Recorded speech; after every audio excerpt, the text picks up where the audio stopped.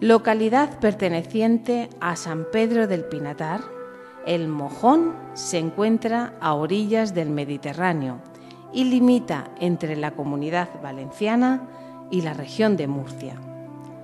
Su población actual es de unos 700 habitantes, triplicando ese número durante los meses de verano.